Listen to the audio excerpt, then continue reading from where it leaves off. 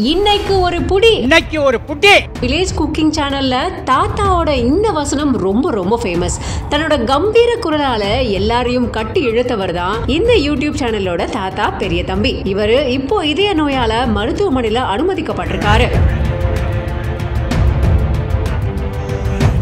புதுக்கோட்டை மாவட்டம் சின்ன வீரமங்கலம் அப்படிங்கிற கிராமத்துல சாதாரணமா ஆரம்பிச்ச இவங்களோட பயணம் ராகுல் காந்தி வரைக்கும் பிரபலம் அடைஞ்சது ரொம்பவே பெரிய விஷயமா பார்க்கப்படுது.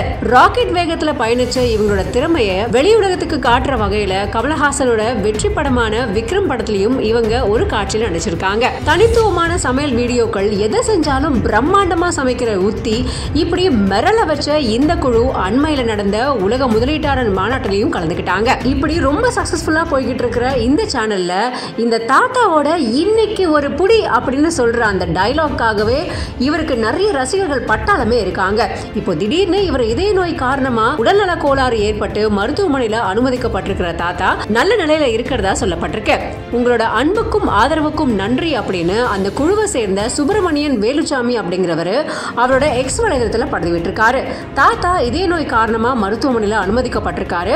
அவர் இப்போ நல்ல நிலையில் இருக்காரு அப்படின்னும் உங்களோட அன்பு அன்புக்கும் ஆதரவுக்கும் நன்றி அப்படின்னும் போட்டிருக்காரு. லட்சக்கணக்கான ரசிகர்கள் கொண்டிருக்கிற இந்த யூடியூப் சேனலோட முக்கியமான நபரா இந்த தாத்தா கருதப்படுறது மட்டும் இல்லாம இவருக்கான ரசிகர்கள் பட்டாலும் இவரை சீக்கிரமா குணமடைய செஞ்சு வர செய்யும் அப்படின்னு நிறைய பேர் கமெண்ட்ல தெரிவிச்சிட்டு இருக்காங்க.